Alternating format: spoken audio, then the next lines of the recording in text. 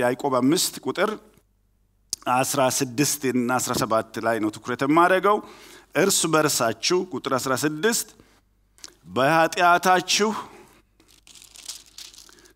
ተናዘዙ ትፈወሱም ዘንድ እያንዳንዱ ስለ ሌላው ይጸልይ። የጻድቅ ሰው ጸሎት በስራዋ እጅግ ኃይል ታደርጋለች። ኤልያስ እንደኛ የሆነ ሰው ነበረ። ዝናብም እንዳይዘንብ አጥብቆ ጸለየ። በምድር ላይም ሶስት ዓመት ከስድስት ወር አልዘነበም። ሁለተኛም ጸለየ፣ ሰማዩ ዝናብን ሰጠ፣ ምድሪቱም ፍሬዋን አበቀለች ይላል። እግዚአብሔር ሆይ በእውነት ይህንን የህይወት ቃል እንድትባርክ እንድንሰማ ጆሮአችን እንድታገኝ ልባችን እንድታገኝ በኢየሱስ ስም እንጸልያለን። በቅርብ በዚህ ሆነው በርቀት ደግሞ በዚህ በቀጥታ ስርጭት ይህም መልእክት የሚከታተሉ በሙሉ ራሳቸውን ለአንተ እንዲለዩ በዚህ ጌታ እግዚአብሔር ሆይ ድቅድቅ ጨለማ ምድርን በሞላበት ጊዜ እግዚአብሔር ሆይ የእግዚአብሔር ክብር በላያቸው ላይ በኃይል እንዲያበራ አቤቱ ጌታ እግዚአብሔር ሆይ ለአንተ ለድንቅና ለምልክት እንዲሆኑ በኢየሱስ ስም ጸልያለሁ።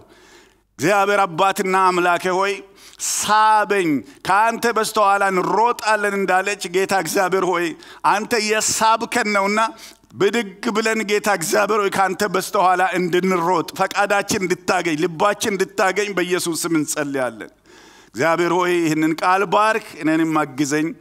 ስለ ሁሉ ነገር እንባርካለን በኢየሱስ ስም አሜን። እንግዲህ ባለፈ ሳምንት አንድ ነገር ተናግር ያለው እሱን ደግማለሁ።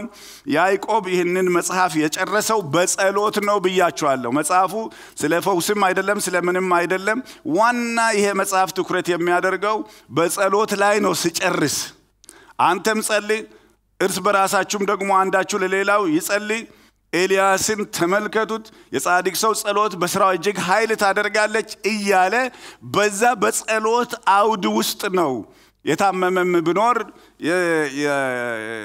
የቤተ ክርስቲያን ሽማግሌዎችን ይጥራ ያለው። ደስ ያለውም ብኖር ጸሎት አያቋርጥ ይዘምር ያለው በጸሎት አውድ ውስጥ ነው ይህንን ሁሉ የተናገረው። የሚገርማችሁ ያዕቆብ ራሱ የጸሎት ሰው ነው። መጽሐፉ ጸልዩ ብቻ ብሎ አይደለም መጽሐፈው፣ እሱ ራሱ የጸሎት ሰው ነው። ያዕቆብ የምታወቅበት ስም እንደው ታውቃላችሁ? የግመል ጉልበት ያለው ካመልኒ ነው የሚሉት። የግመል ጉልበት እንዲያደግ ያደረገው መንበርከኩ ነው። ሁለ ስለምንበረከክ እሱ ራሱ የጸሎት ህይወት የነበረው ሰው ነው። እንደገና ደግሞ ስለ ጸሎት ስናገር እንመለከታለን።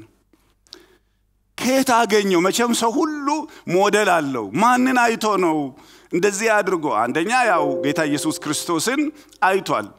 የጌታ ወንድም ነው፣ አብሮት አድጓል። ጌታንም ባያውቅ ከትንሣኤ በኋላ ደግሞ ጌታን ሲያውቅ ድሮ ያየው ነገር በሙሉ reflection ነበረው። አንዱ ጌታ ኢየሱስ ክርስቶስ ነው ሞዴሉ። ሁለተኛው ግን እንደ ሞዴል አድርጎ የሚያሳየን ኤልያስ ነው። ኤልያስ በጣም የትና የት ነው የምራራው? ኤልያስ የብሉ ኪዳን ነቢይ ነው። ያዕቆብ የአዲስ ኪዳን አገልጋይ ነው። ነገር ግን በጸሎት ማን ነው ምሳሌ ሲባል ያዕቆብ ያነሳው ኤልያስን ነው። አይገርማችሁም? ኤልያስ እኮ እንደኛው ሰው ነው። ተመልከቱ የሰራውን ስራ። እባካችሁ እናንተም ስለ መከራ እያወራችሁ ዘመናቸው አይለቅ። መልስ የሚሰጥ ሰምቶ በሰዓት የሚመልስ እግዚአብሔር አለ ጸልዩ ብሎ ሲያደፋፍር ኤልያስን እንደ ምሳሌ ሲያነሳው እንመለከታለን። ኤልያስ ስለ እሱ ነው ትንሽ ዛሬ የምናየው። ብሉ ኪዳን መጽሐፍ ስዘጋ ይገርማቸዋል። ሚልክያስ ምዕራፍ አራት ቁጥር አራት ላይ አንድ ሀሳብ አለ። ስለ ኤልያስ ተነግሮ ነው መጽሐፉ የሚዘጋው ነው። ታላቁና የሚያስፈራ የእግዚአብሔር ቀን ሳይመጣ ኤልያስን እልክላቸዋለሁ። ምንድን ነው የሚያደርገው እሱ? አባቶችና ልጆችን ልጆችና አባቶችን ያስማማል። ምድርን በእርግማን ከመምታተ በፊት እሱ ይህንን ያደርጋል ብሎ በዚህ ነው ቅዱስ መጽሐፍ የሚዘጋው ብሉይ ኪዳን ላይ። አዲስ ኪዳን ደግሞ ሲጀምር የሚጀምረው በኤልያስ ነው። ኤልዛቤጥና ዘካርያስ ነበሩ። መልአኩ ገብርኤል ለዘካርያስ ተገለጠ። መጥምቁ ዮሐንስ እንደሚወለድ ተናገረና ሉቃስ 1 17 ላይ ይሄ አሁን የሚወለደው ልጅ በኤልያስ ኃይልና መንፈስ ይመጣል፣ በፊቱ ይሄዳል አለ። እግዚአብሔር የተባረከ ይሁን። በጣም የተመሰከረለት ሰው እንደሆነ ኤልያስን ማየት እንችላለን ማለት ነው። መጽሐፍ የተዘጋው በሱ ነው። መጽሐፍ የተከፈተው በሱ ነው። ኤልያስ አመጣጡ የሚያስገርም ሰው ነው። አካሄዱም ደግሞ የሚያስገርም ሰው ነው። የት ተወለደ? ማን ወለደው? የታደገ ሳይታወቅ ብቅ ብሎ ሰማያትን የሚዘጋና የሚከፍት ነው። ሞትን ሳያይ ደግሞ ከተወሰዱት ሁለት ሰዎች የመጀመሪያው ሁለት ሰዎች አንዱ ኤልያስ ነው። ስለዚህ ኤልያስ በሁሉ ነገር የሚያስገርም ሰው ነው። ኤልያስ የጸሎት ምሳሌ ነው። ኤልያስ እኛ ህይወቱን የምን እንደው ቢሆንልን ብለን የምንመኘው ከህይወቱ የምንማረው ሰው ነው። ያዕቆብ ከሱ ተምሯል። እኛንም ደግሞ ከሱ እንድንማር ይፈልጋል።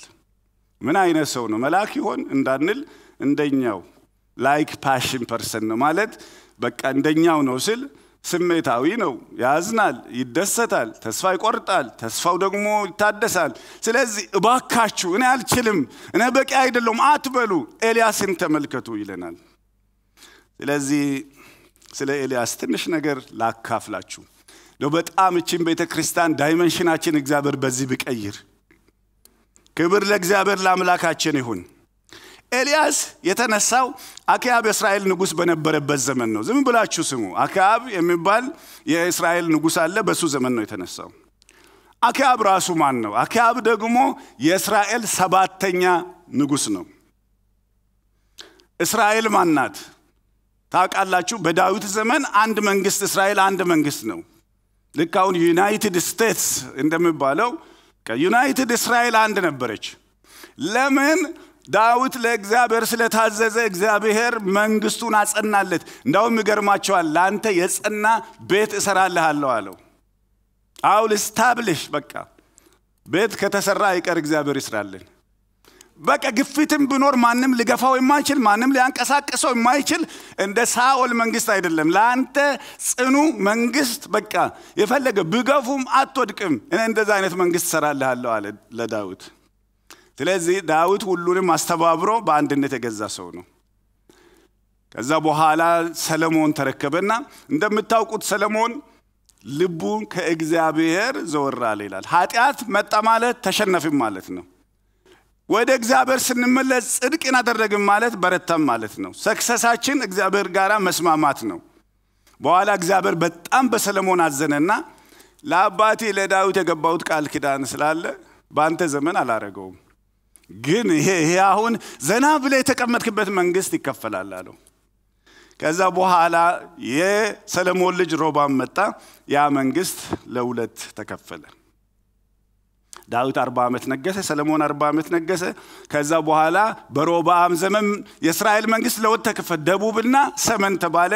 ሰመኑ አስር ነገድ፣ ደቡቡ ደግሞ ሁለት። የሰመኑን አስር ነገድ ኢዮርባም ነው የሚገዛው።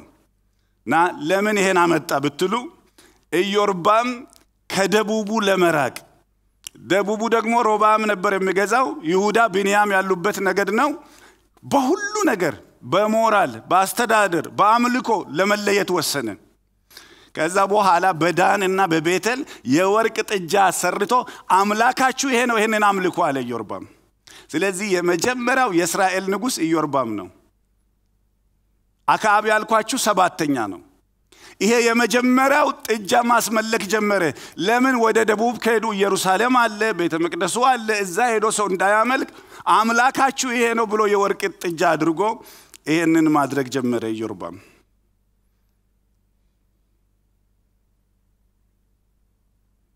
ከኢዮርባም በኋላ እሱ የመጀመሪያው ነው። ሁለተኛው የከፋ ነው። ሶስተኛው የከፋ ነው። አራተኛው የከፋ ነው። አምስተኛው የከፋ ነው። ሰባተኛው አክዓብ እዚህ ጋር ነው ፖይንቱ ያለው። አክዓብ የሚታወቀው ከሌሎች ነገስታት ሁሉ እግዚአብሔርን በማስቆጣቱ ነው። አይገርማችሁም? የመጀመሪያው ሰው ጥጃ አድርጎ ነበረ። ያ እግዚአብሔርን በኃይል አስቆጥቶታል። ሰባተኛው ግን ከሁሉ የባሰ ነው። አንደኛ ነገሥት ምዕራፍ 16 30 የዘንበሪ ልጅ አክዓብ ከእርሱ በፊት ከነበሩት ይልቅ በእግዚአብሔር ፊት ክፉ ነገር አደረገ ይላል።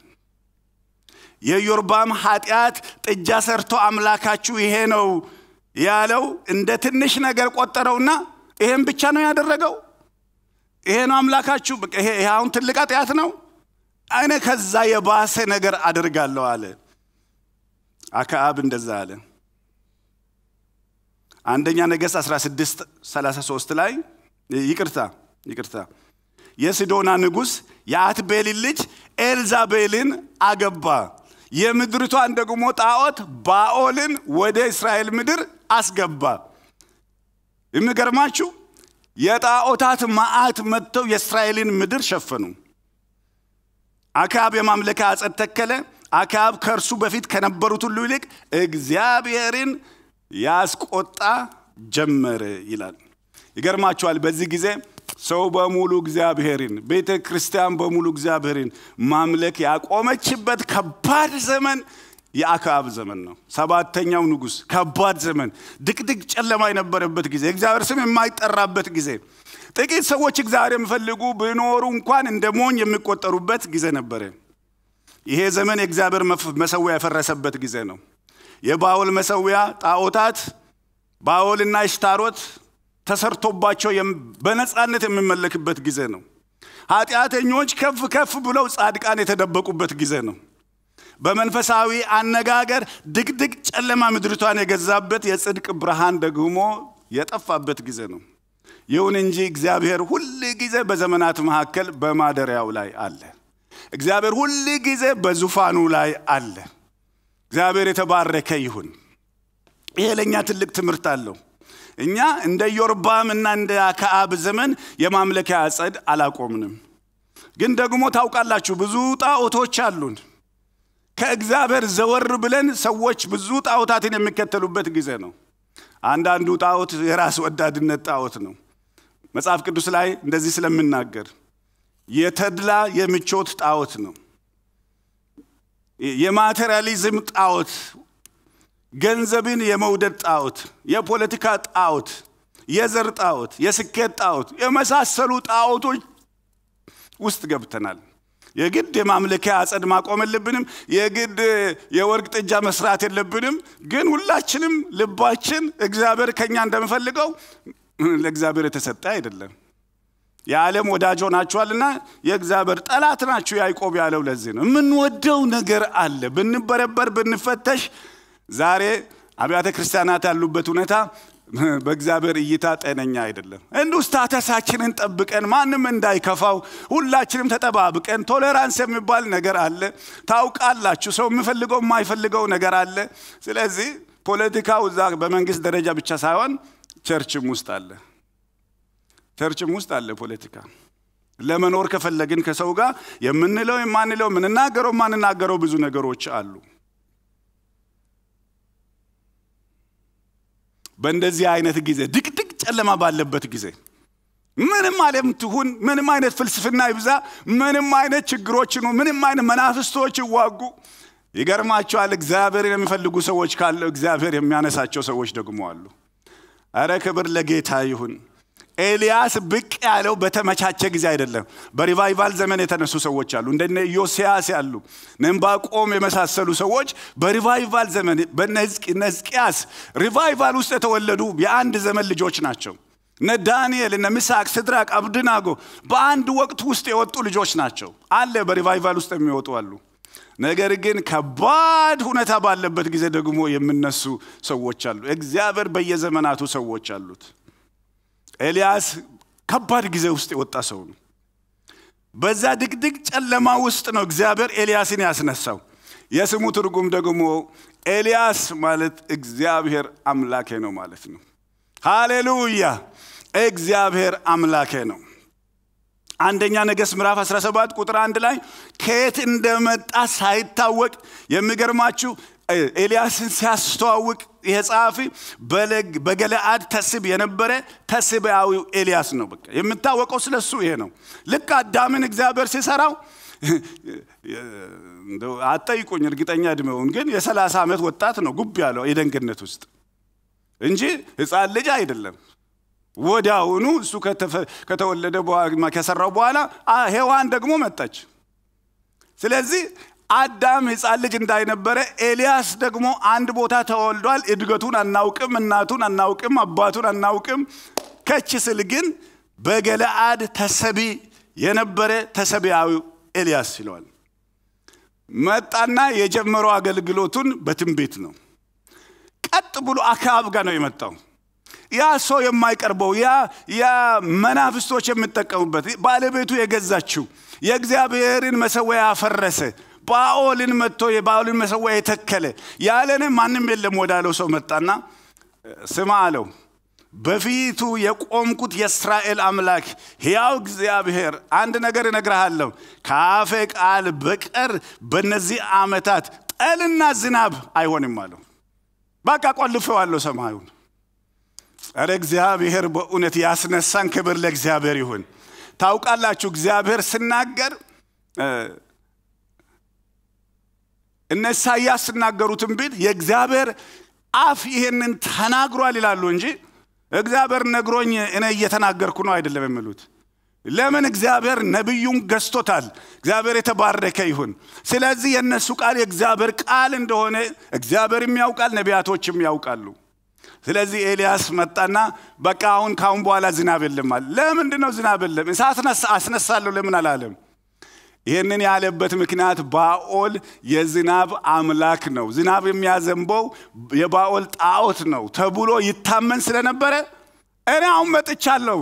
እግዚአብሔርን ወክዬ ከአሁን በኋላ ዝናብ የለም። ለሚቀጥሉት አመታት ዝናብ የለም። ታያለህ አለው። በቃ አለቀ። ከዛ ጊዜ ጀምሮ ሰማይ ተዘጋ። ከዛ ጊዜ ጀምሮ ይሄ ተስባዊው ገለያድ በገለያድ ተራራ ከዛ ብቅ ያለ ይሄ ሰው እና ደስ ይለኛል። አንድ እግዚአብሔር ሰው God's mountain man ይለዋል ኤልያስን። ከተራራ ውስጥ ብቅ ያለ ነው። እግዚአብሔር ያሳደገው ሰው ነው። በእግዚአብሔር ፊት የኖረ ሰው ነው። እግዚአብሔር የላከው ሰው ነው። የእግዚአብሔርን ድምፅ የሰማ ሰው ነው። ከባድ ዘመኑን ቢሆን መልእክት ይዞ የመጣ ሰው ነው።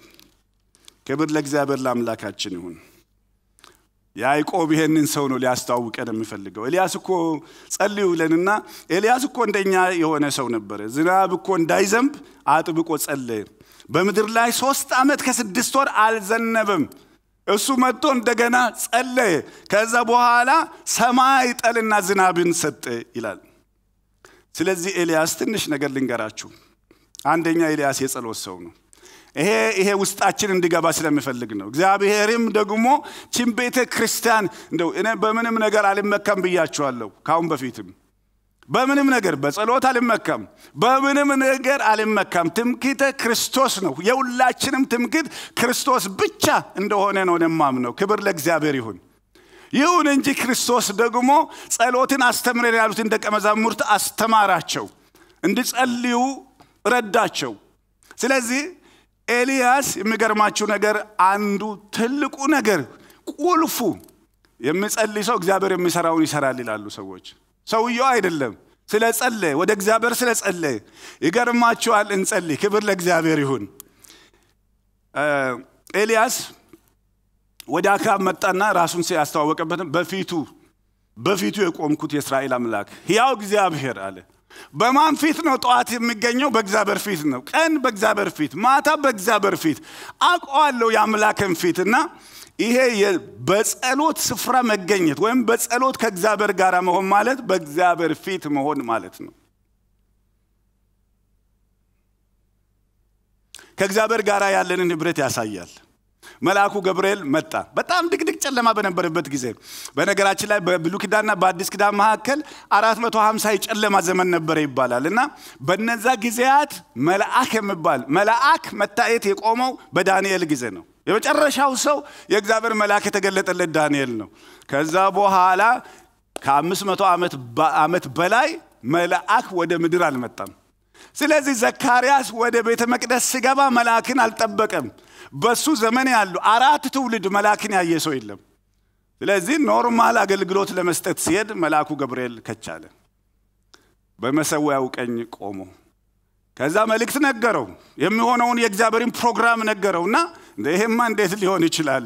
እኔ እኮ አርጅቻለሁ። ሚስትም እኮ አሮጊት ናት። ከእንግዲህ በኋላ ጸሎቴ ተሰምቷል። ምስት ኤልዛቤት ታረግዛለች ወንድ ልጅ ትወልዳላችሁ። እንዲህ ይሆናል። የእግዚአብሔር ሀሳብ ይሄ ነው ሲባል ይሄ እንዴት ሊሆን ይችላል አለ ማን መሰልኩ እኔ እኮ በእግዚአብሔር ፊት የሚቆም መልአኩ ገብርኤል ነው ሃሌሉያ!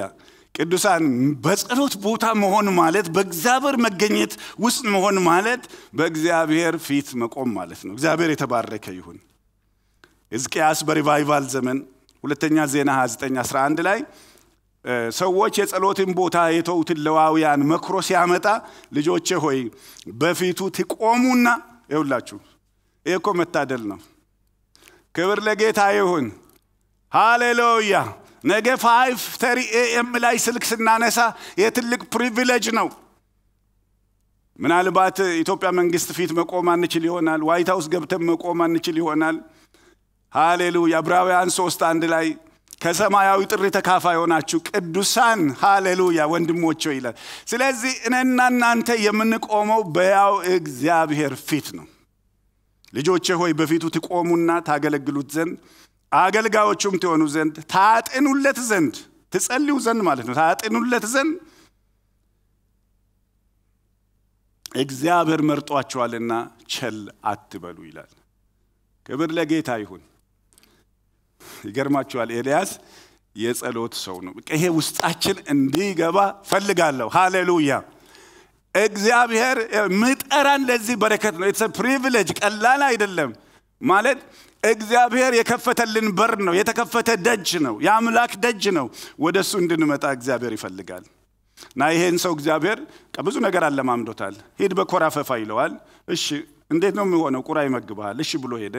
ከዛ በኋላ ውሃው እያለቀ ሲሄድ አሁን እልክሃለሁ ወደ ሲዶና ተነስተህ ሂድ ይለዋል። ማን አለ እዛ? አንዲት ባልቴት አለች፣ ታገኛለህ፣ ዝም ብለህ ሂድ ይለዋል። ከእስራኤል ድንበር ወጥቶ ሲዶና ሲመጣ አንዲት ባልቴት አንድ ልጅ አላት፣ እንጨት ስትሰብር አያት። ሰላምታ ከሰጠ በኋላ እግዚአብሔር ወደ አንቺ ልኮኛልና ዛሬ እራት እዚህ ነው አላት። ሴትየዋ ደነገጠች።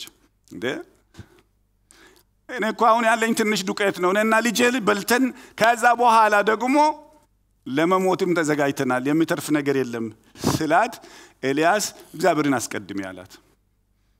አሜን አሜን አሜን። እግዚአብሔርን አስቀድመን አንጠፋም። እግዚአብሔርን አስቀድም። በቃ እኔ ተልኬ ነው የመጣሁት። ስሪና አብይኝ። ቅድሚያ ለአንተ አው ልጄ እያለቀሰ አው ከዛ ጊዜ ጀምሮ ሰማያዊ መለኮታዊ አቅርቦት እዛ ቤት ውስጥ ፈሰሰ። ከዛች ሴትዮ ጋር ኖረ። አብሮ እየኖሩ እያለ የሴትዮዋ ልጅ ለምን አይሞትም? ታመመ፣ ይሻለዋል ሲባል ልጁ ሞተ። አንድ ቀን ልጁ መሞቱን ስታረ ኤልያስን ጠራና ልትገለኝ ነው የመጣኸው? ልጄን ለመግደል ነው ያለችው። ኤልያስ ጸሎትን የሚያውቅ ሰው ስለሆነ ይሄ በጣም በጣም የምወደውና የሚገርመኝ ክፍል ነው። ለምን እንደሆነ ልንገራችሁ። በአዲስ ኪዳን ብዙ ፈውስ፣ ብዙ ትንሣኤ ስላለ በዚያን ጊዜ ግን ከሱ በፊት ሌላ ሰው ተነስቶ በማያቅበት ሰዓት ኤልያስ ልጅሽን ሽጭኝ አላትና ተቀበላት። ከዛ ወደ ሰገነቱ ወደ ጸሎት ስፍራ ወጣት። የሞተ ልጅ ይዞ ነው የወጣው። ትንሽ ከጸለየ በኋላ ግን ነው ልጅሽ በሕይወት አለ ብሎ ሰጣት። አንድ ነገር እነግራቸዋለሁ። እግዚአብሔር በእውነት ሲያለማምደን የተጸለየበት ነገራችን አይሞትም። ሃሌሉያ! ተስፋ የቆረጥንበትን ነገር ይዘን እንወጣለን። እግዚአብሔር ተስፋችንን ቀጥሎ ይዘን እንወርዳለን። ለእኛ ብቻ አይደለም የምለው፣ ዓለም ለምታለቅስበት በብዙ ሁኔታ ለሚያልፉት ሰዎች እግዚአብሔር መፍትሄ ሊያደርገን ይፈልጋል። ይሄ ብቻ አይደለም። ሰማይን ስከፍት እንዴት እንደጸለይ እናውቃለን። ሰዓት ስለሌለኝ ስለምታውቁት ሀሳቡን የለኝም የማይቀበል ሰው ነው ኤልያስ። ሂድና የለም እስቲ እስቲ የለም ሰማይ ደመና የለም ንፋስም የለም። ኤልያስ ሂድና እኔ እኮ አምላኬን አውቀዋለሁ። አረ ክብር ለእግዚአብሔር ይሁን። እኔ አምላኬን ሂድና ጸልይ እና ከዛ በኋላ ሰባተኛ ላይ እጅ የምታክል ደመና ያለው ስለው እሱማ ከሆነ በቃ አሁን ልለቀቅ ነው። የሰማሁት ድምፅ ትክክል ልለቀቅ ነው። ስለዚህ አክዓብን አሁን ዝም ብለህ ሰረገላ ላይ ውጣ፣ እኔ ልምራህ አለው። እግዚአብሔር የተባረከ ይሁን። ታውቃላችሁ እግዚአብሔር ከአፉ ጋር እንደሰራ። ዛሬ የሚያስፈልገን ነቢይ እንዲህ አይነት ነቢያት ናቸው። እግዚአብሔር ይመስገን። እግዚአብሔር ሴቶችና ወንዶች ነቢያትን በመካከላችን ሊያበዛ ይፈልጋል። አንዱ መንገድ እግዚአብሔር ይዞን ሊገባ የሚፈልገው ወደ ጸሎት ህይወት ነው።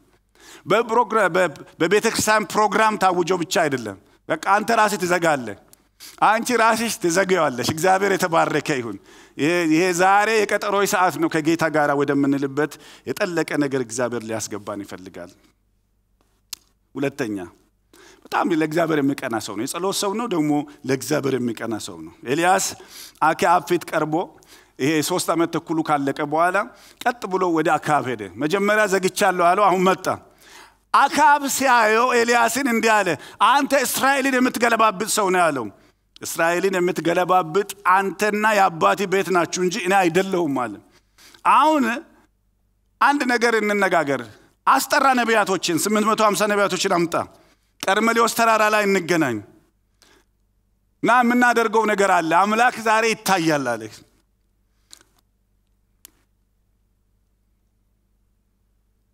ከዛ በኋላ ወደ እስራኤል ልጆች ዞር አለ። እነዚህ ክርስቲያኖች ናቸው ማለት እንችላለን።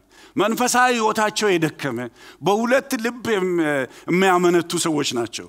እናንተስ እስከ መቼ ድረስ በሁለት ሀሳብ ታነክሳላችሁ?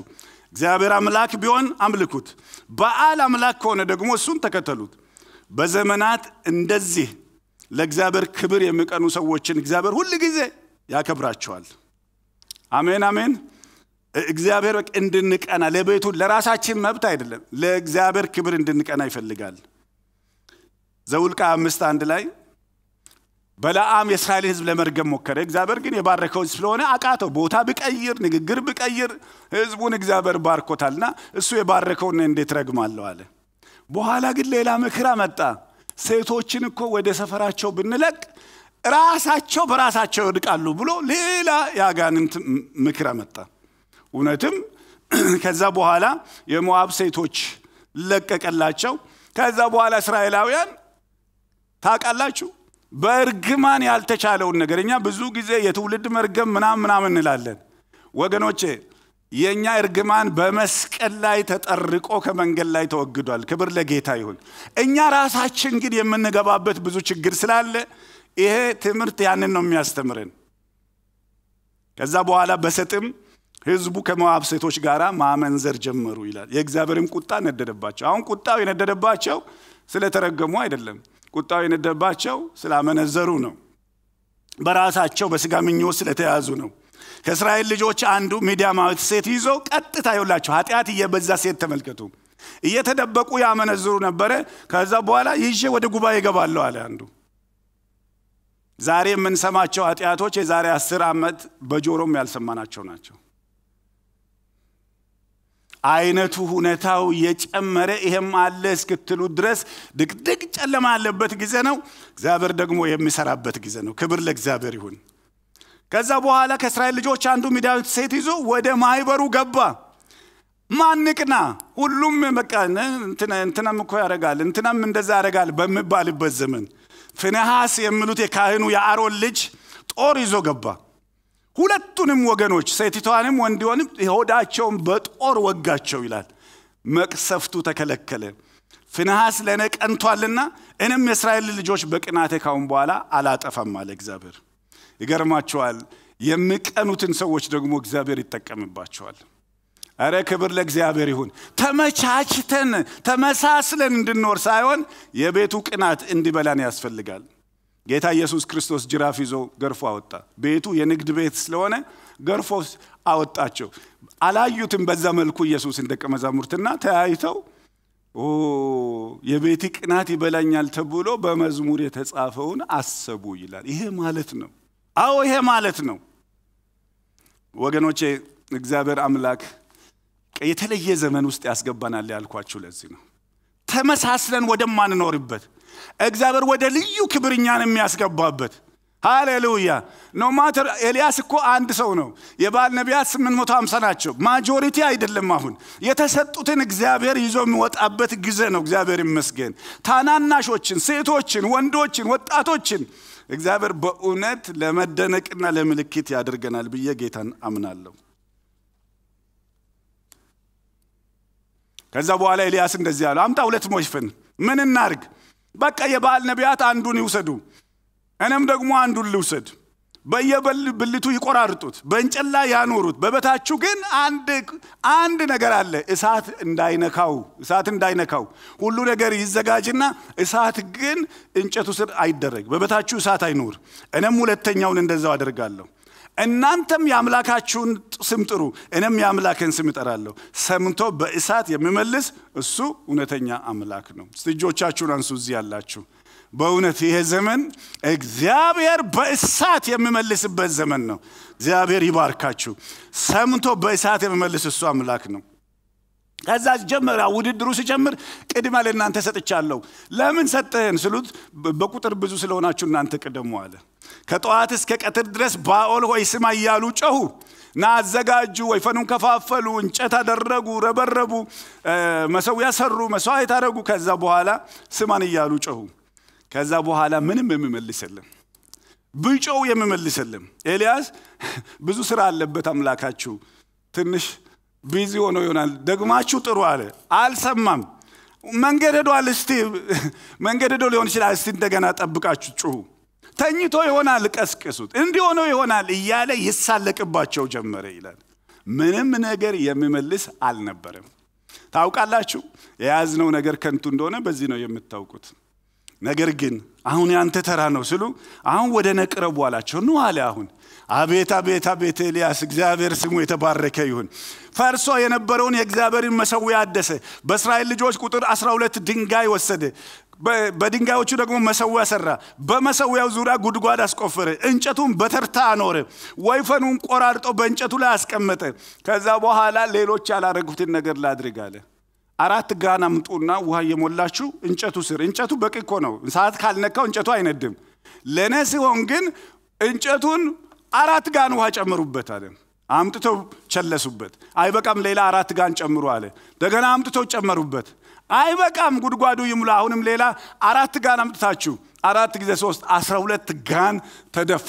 ያ ማለት እሳቱ የለም ሳይሆን እሳቱን ብመጣ ውሃው ያጠፋዋል ማለት ነው። ሃሌሉያ! ይኸውላችሁ አምላክ ከሆነ ይሄን ሁሉ አልፎ ይሰራል። እሱ አምላክ ከሆነ ያንተን እውነታ አልፎ ይሰራል። ሃሌሉያ! እሱ አምላክ ከሆነ ያንቺን እውነታ አልፎ ይሰራል። እግዚአብሔር የተባረከ ይሁን። በፍጹም ሊያጠፋው የሚችል ውሃ የለም። ከዛ በኋላ አጭር ጸሎት ነው የጸለየው። በእግዚአብሔር ፊት መቆም ማለት ይሄ ነው። ይገርማችኋል። ጸሎት ይሄን አምጣ ይሄን አምጣ የምንለው አይደለም። ብዙ ጊዜያችንን fellowship ነው፣ ህብረት ነው ከእግዚአብሔር ጋር እያመሰገንነው ነው በፊቱ የምንቆየው፣ ድምፁን ነው የምንሰማው። ወደ ጸሎቱ ሲመለስ ግን የአብርሃም የይስሐቅ የያዕቆብ አምላክ ሆይ አንተ በእስራኤል አምላክ እንደሆንክ እኔም ባሪያህ እንደሆንኩኝ በቃል ይሄ ሁሉ እንዳደረግኩ ይታወቅ ዘንድ ይህንን እንዳደረግኩ ይታወቅ፣ ይህም ህዝብ ደግሞ ይወቅ። ይሄ ከሁሉ ደስ ያሰኘኛል። ይሄ ህዝብ ይወቅ፣ ሀገር ይወቅ፣ እስራኤል ይወቅ፣ ይሁዳ ይወቅ፣ በሩቅ ያሉ አይዛብ ይወቁ። ከዛ በኋላ ይህን እንደጸለየ እሳትም ወደቀች ይላል። እሳትም ወደቀች። እንዲህ አይነት እሳት ብዙ ጊዜ ወድቋል። ክብር ለጌታ ይሁን። በሰለሞን ቤተ መቅደስ ላይ ወድቋል። ሐዋርያ ሥራ ምዕራፍ ሁለት ላይ ወድቋል። ወገኖቼ እንጸልያለን። ይሄ እሳት በቤተ ክርስቲያናችን ላይ ይወድቃል። እግዚአብሔር የተባረከ ይሁን። ስፐርጅን የሚባሉ ታላቅ እግዚአብሔር ሰው አሉ እና እሳቸው ሲሰብኩ ብዙ ሰው ይሰበሰባል። ሌላው ደግሞ ብዙ ቤተ ክርስቲያናት አሉ፣ ሲሰብኩ ሰው አይሰበሰብም። ምንድን ነው የእርሶ ጊዜ ብዙ ሰው ይሰበሰባል? አይ አንድ ሰው civic center ሄዶ ሰው የሚሰበሰብበት አደባባይ፣ የህዝብ አደባባይ ሄዶ ራሱ ላይ ጋዝ ጨምሮ ራሱን ከለኮሰ ምን ጉድ ነው ብሎ መጥቶ የማያይ ሰው የለማል። እሳት ካለ ሰው መጥቶ ያያል። እግዚአብሔር የተባረከ ይሁን። ይኸውላችሁ በሐዋርያት ሥራ ሁለትም የሆነው ነገር ይሄ ነው። እሳቱ መጣ።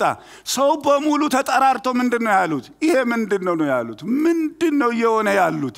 ይሄ ነገር ምንድን ነው ነው ያሉት? ወገኖቼ እሳት ወደቀ፣ መስዋዕቱን፣ እንጨቱን፣ ድንጋዩን በላች፣ በጉድጓድ ውስጥ ያለውን ደግሞ ውሃ ላሰችው ይላል።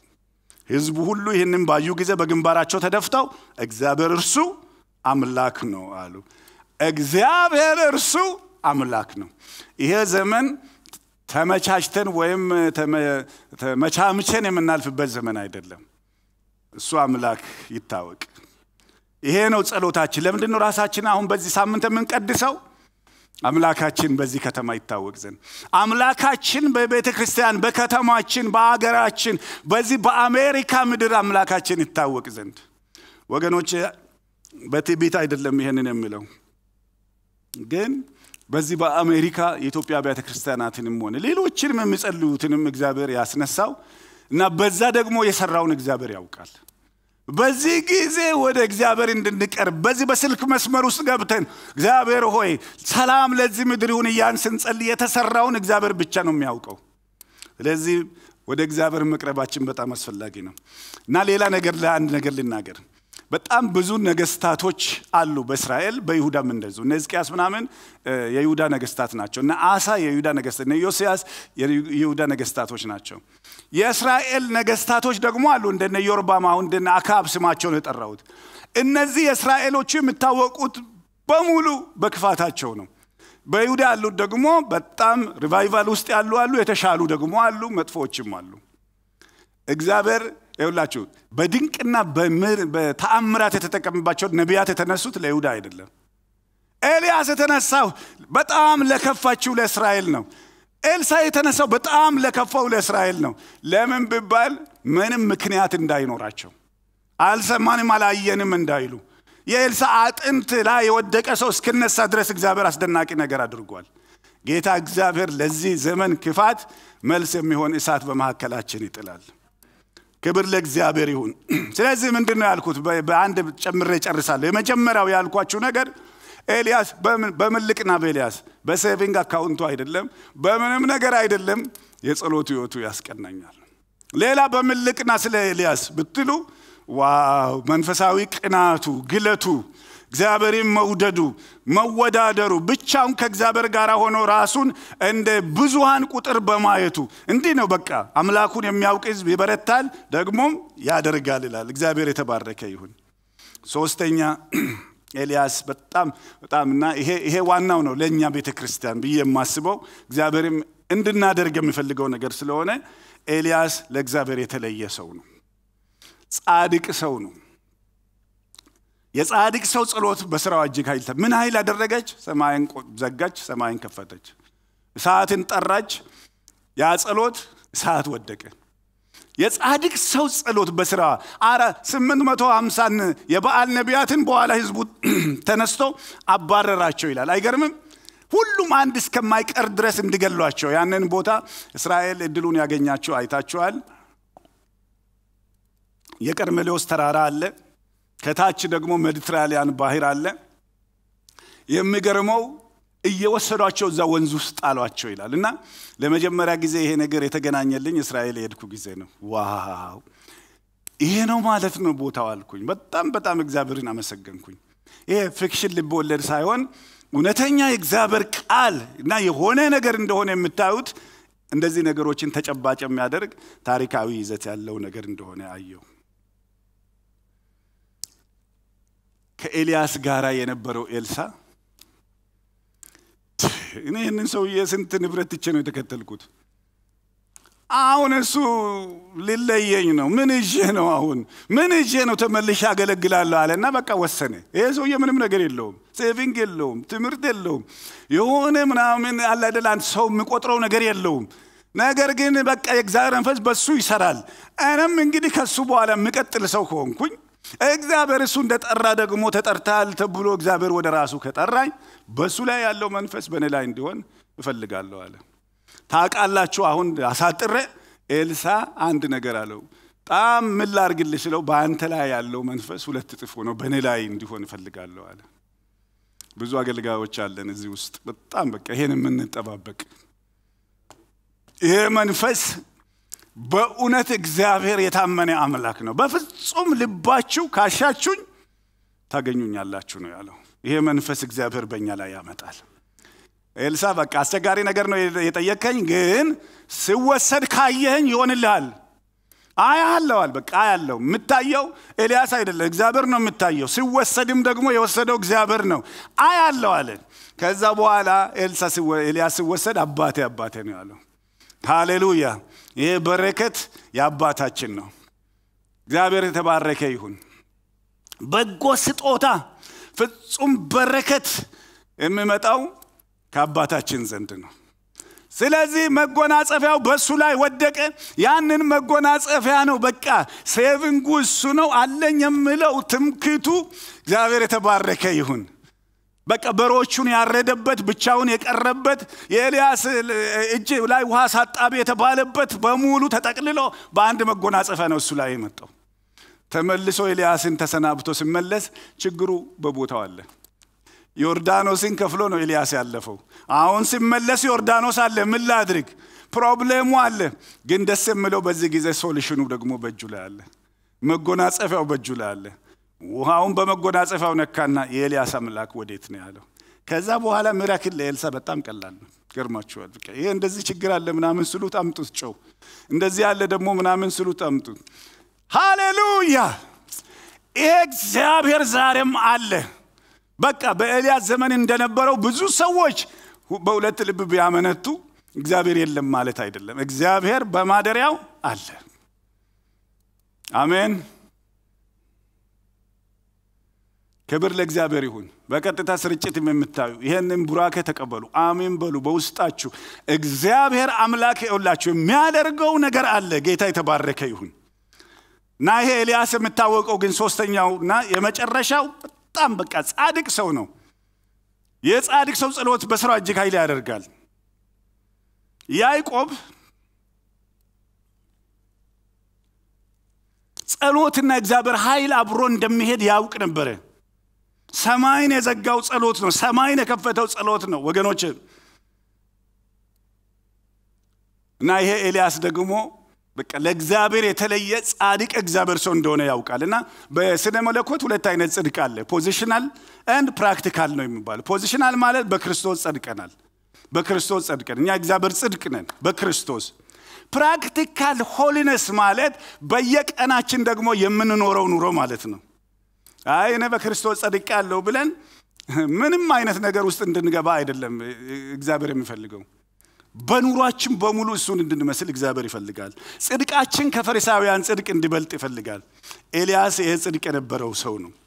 ዝም ብሎ አለ አይደል positional holiness ብቻ አለኝ የሚል ሳይሆን በፍጹም በኑሮው ለእግዚአብሔር የተለየ ሰው ነው። ዕብራውያን 12 14 ላይ ከሰው ሁሉ ጋር ሰላምን ተከታተሉ፣ ትቀደሱም ዘንድ ፈልጉ፣ ያለ እርሱ እግዚአብሔርን ሊያይ የሚችል ማንም የለምና። የተቀደሰ ሰው እግዚአብሔርን ያያል። አሜን። ያለ እምነት እግዚአብሔርን ማስደሰት አንችልም። ያለ ቅድስና እግዚአብሔርን ማየት አንችልም። እምነት ባላቸው ሰዎች እግዚአብሔር ደስ ይለዋል። አምናሃለሁ በሚሉት ግን ቅድስና ከሌለን ማየት አንችልም። በቃ እግዚአብሔርን ማየት እንፈልጋለን ካል ለእግዚአብሔር መቀደስ አለብን። ለእግዚአብሔር መቀደስ ማለት ደግሞ ምን ማለት ነው? በአጭሩ በሚገባን መንገድ ሁለት ነገር ብቻ ልናገር እና ጨርሳለሁ። መቀደስ ማለት መለየትና መሰጠትን ይጠይቃል። ከዚህ ነገር እለይና ከዚህ ነገር ጋር እተባበራለሁ ማለት ነው። ከአንድ ነገር ተለይተን ከሌላ ነገር ጋር እንተባበራለን። ሐዋርያው ጳውሎስ ጢሞቴዎስን ከዚህ ሽሽላል፣ ወደዚህ ደግሞ ሽሽላል፣ ከዝሙት ሽሽላል፣ ጽድቅን ከሚከታተሉ ጋር አንተ ደግሞ ወደ እነሱ ሩጥና ከነሱ ጋር ሂድ ስለዚህ ቅድስና በምንልበት ጊዜ የምንለየው ነገር አለ፣ ደግሞም የምንተባበረው ነገር አለ። ከእግዚአብሔር ቃል አንድ ቦታ አይነ ላንብብላችሁ እናንተ ባታወጡም ከሰዓት አንጻር ነገር ግን እግዚአብሔር በእውነት የተናገረን ስለሆነ በዚህ ጉዳይ ልናገር እና እያንዳንዳችን እያንዳንድ ለምን አንድ ሰው አይሰማኝም? ለምን ይውላችሁ፣ ዋናው የእግዚአብሔርን ሀሳብ ለሰማው በሙሉ አይጠቅምም። ነገር ግን በእምነት የሰሙት ልባቸው ለተከፈተላቸው እግዚአብሔር ትልቅ ዘጻት ሊያደርግልን ይፈልጋል ብዬ አምናለሁ። ከማያምኑ ጋራ በማይመች አካሄድ አትጠም ተለዩ ነው የምለው አሁን ያለው ጽድቅ ከአመፃ ጋር ምን ተካፋይነት አለው? ስለዚህ ከአመፃ እንለያለን፣ ከጽድቅ ጋር እንተባበራለን። ብርሃን ከጨለማ ጋር ምን ኅብረት አለው? ከጨለማ እንለያለን፣ ወደ ብርሃን እንመጣለን። ክርስቶስ ከብልዖር ጋር ምን መስማማት አለው? ወይስ የሚያምን ከማያምን ጋር ምን ክፍል አለው? ለእግዚአብሔር ቤተ መቅደስ ከጣዖት ጋር ምን መጋጠም አለው? እኛ የሕያው እግዚአብሔር ቤተ መቅደስ ነንና፣ እንዲሁም እግዚአብሔር ተናገረ እንዲህ ሲል በእነርሱ እኖራለሁ፣ በመካከላቸው እመላለሳለሁ፣ አምላካቸው እሆናለሁ፣ እነርሱም ደግሞ ሕዝቤ ይሆኑኛል። ስለዚህ ጌታ ከመካከላቸው ውጡና ለእኔ የተለያችሁ ሁኑ፣ እርኩስን አትንኩ ይላል ሁሉን የሚገዛ ጌታ። እኔም እቀበላችኋለሁ፣ ለእናንተ አባት ይሆናችኋለሁ እናንተም ለእኔ ወንድ ልጆችና ሴቶች ልጆች ትሆኑኛላችሁ ይላል። በጣም ልቤን የሚነካ በመካከላችሁ እሆናለሁ እኔ ከዚህ ውጭ ሌላ ጸሎት የለኝም። እግዚአብሔር በመካከላችን እንዲሆን ደግሞ ምን ይላል? አምላክ እሆናችኋለሁ እናንተም ሕዝቤ ትሆኑኛላችሁ። ከዚህ ውጭ ሌላ ጸሎት የለኝም። አባት እሆናችኋለሁ እናንተ ደግሞ ሴቶችና ወንዶች ልጆች ትሆኑኛላችሁ። አሁን ማን ነው እግዚአብሔር እግዚአብሔር በመካከሉ እንዳይሆን የማይፈልግ ሰው ማን ነው? እግዚአብሔር አምላኩ እንዳይሆን የማይፈልግ ሰው ማን ነው? እግዚአብሔር አባቱ የማይፈልግ ሰው ማን ነው? ከፈለጋችሁ እንግዲህ እግዚአብሔር ምን ይላል? ተለዩልኝና እንደ አባትነቴ ታዩኛላችሁ። እስቲ እናንተ ወጣ በሉና እኔ አምላክነቴን አሳያችኋለሁ ነው የሚለው እግዚአብሔር። በእውነት ኤልያስ በጣም የተለየ ህይወት የነበረው ሰው ነው። ክብር ለእግዚአብሔር ለአምላካችን ይሁን። ግን ይሄ ኤልያስ እስቲ በዚህ ልጨርስና ይሄ ኤልያስ በቃ ጥሩ ጥሩ ጥሩ ጥሩ ነገር ብቻ ያለው እንደናንተው ሰው ነው የምለው ይህን ሁሉ ማድረግ እችላለሁ እንዳትሉ ይገርማቸዋል። የራሱ የሆነ ደግሞ ድካም አለው። እግዚአብሔር ያየውን ሰባት ሺህ ሰዎች አሉኝ ያለውን አላየም። በእርግጥ በጣም ብዙ ሰዎች ጀርባቸውን ለእግዚአብሔር ሰጥተዋል፣ መመስከር አልቻሉም። እግዚአብሔር የሚያውቀው ጉባኤ አለ። አካብ መጥቶ ያ ዝናብ ከዘነበ በኋላ የበዓል ነቢያት ይቅርታ ከገደለ በኋላ ነገራት። አካብ ተመልሶ ዛሬ የሆነውን ልንገርሽ፣ እንደዚህ አቀረብን እኛ አማልክቶቻችንን ጠራን፣ ድምፅ የለም። እሱ አምላኩን አጭር ጊዜ ጠራ፣ እሳት መጣ። ከዛ በኋላ ህዝቡ ሁሉ የበዓል ነቢያትን ገለዋል ምናምን ብሎ ለኤልዛቤት ሲነግሯት በቃ እንደዚህ ብለ መልእክት ነው የላከችው መልእክት ነው የላከ ነገ እንደዚህ ባላደርግ ው ዛሬ ሰው ሁሉ የፈራበትን ነገር ነው የምነግራችሁ። እየመጣሁ ነው እንኳን አላለችም፣ ወይም መንገድ ጀምራለችም አልተባለም። ምንድን ነው ያለችው? የአንተን ነፍስ እንደነዛ በዓል ነቢያት እንደ አንዱ ባላደርግ በዚህ ታለ ዛቻ፣ በዚህ ፍርሃት ነው የነገ ፍርሃት ነው ብዙ ሰው የያዘው። ኤልያስ ያንን ሁሉ እንዳላደረገ ሰው በቃ እንሂዳልና ትንሽ ሰራተኞች አገልጋዮች ነበሩት። እነሱን ይዞ ወደ ቤርሳቤ ምድረ በዳ ፈረጠጠ። ስልሳ ማይል ምናምን ሄዶ ምድረ በዳ ውስጥ ክትክታ ዛፍ አገኘና ከዛ በኋላ አንድ ቦታ አገልጋዮቹን ትቶ ክትክታ ዛፍ በታች ተኛ እና በጣም ተበሳጨ እና እዛ ቦታ ላይ እኔ ብቻ ነኝ ያለሁት መኖር አልፈልግም እና ራሴን መግደል አልፈልግም፣ ግደለኝ አለ። በቃ ግደለኝ ሞት ነው የምፈልገው። ከአባቶች አልበልጥም። ሁሉ ነገር ተበላሽቷል። ነቢያቶች ሁሉ ሞተዋል። እኔ ብቻ ነኝ የቀረሁት ምናምን አለ። አይገርማችሁም? ያ እግዚአብሔር የጠራው ያሳደገው ሰው ያ እግዚአብሔር ነገን ያየለት ሰው እና ምን ነው የምትፈልገው ምናምን ስለው እዚህ ነው መሞትም። የት? እዚህ ክትክታ ዛፍ። የት? እዛ አሁን ያለሁበት በርሳቤ ምድረ በዳ ላይ መሞት ፈልጋለሁ። እግዚአብሔር እንደዚህ ያለው ይመስለኛል ያለው ይመስለኛል። አሁን አንተ እዚህ ብትሞት ለእኔም ክብር አይሆንም፣ ለአንተም ደግሞ በቃ መቃብር እንኳን አላገኘ ሰውም አልቀበረውም ይባላል። አይ ይልቁንስ መልአክ ላከና መልአክ ቀሰቀሰው። ከዛ በኋላ ምግብ ብላ ትኩስ እንጎቻ ቀረበለት፣ በላ። ውሃም ደግሞ ተሰጠው። ከዛ በኋላ ተኛ አለው። ደክሞት ነው እንደኛው እንደኛው ሰው ነበረ ማለት ይሄ ማለት ነው። በቃ long hour ሰርተን የሆነ ነገር አነጫንጮን ከዛ በኋላ ገባች አይደል? ምንድን ነው ኢሚኒቲያችን አልቆ ተስፋ በቆረጥንበት ደቂቃ የምንለው ነገር ማለት ነው። እንደናንተ ነው ማለት ይሄ ነው።